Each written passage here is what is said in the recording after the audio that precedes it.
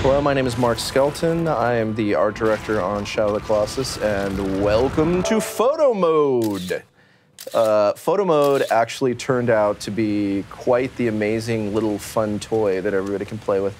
Um, there's so many things that you can do with this um, that it's just mind-boggling. It's like a whole photo suite, like inside of, of the game.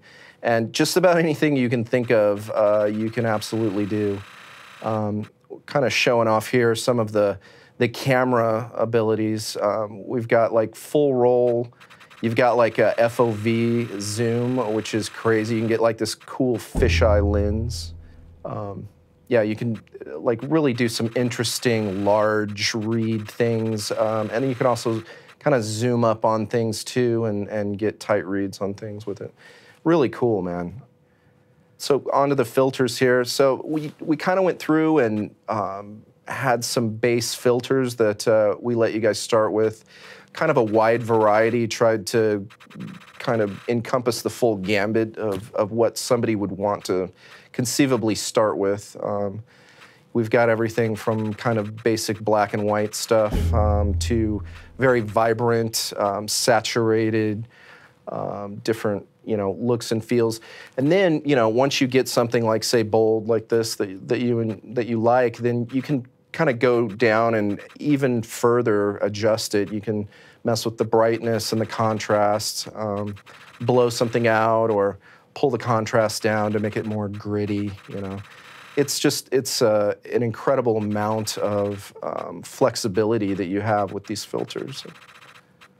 It's really cool um, some of the post effects stuff, again, that's uh, you can even go further down, like digging down into things. Um, you can adjust saturation per um, filter. You can also dive down into like specific highlights. Like say if you wanted the highlights more red, you know, you can pull the reds up or mid-tones down to shadows as well um, just to get a specific look that you're looking for. You know, um, anything that you can conceivably think of, uh, you could probably pull it off. Uh, this depth of field is really cool. You can make things look like super tiny, or you can make things look super far away um, by kind of blurring out the near and far range. Um, you can focus in on some things, focus your attention back to wander.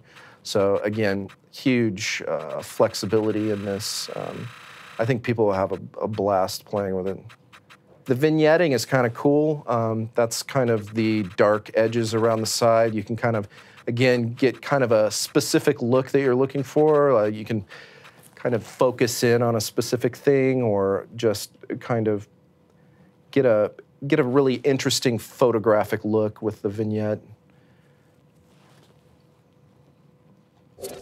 A lot of these filters too, we we had thought about and thought it would be a good idea to actually let you play through the entire game um, with with some of these filters, which I, I thought was kind of unprecedented.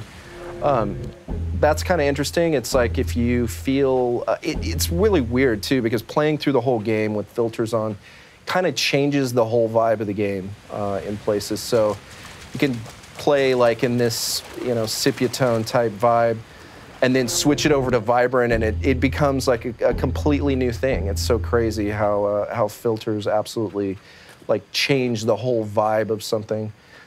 Yeah i can't wait until the uh, the public get a hold of it. I it's so it's so cool like obviously the community will do things with it that we've never thought about you know and do cool things with it that that you know just look really awesome. So i can't wait for that to happen. It'll be cool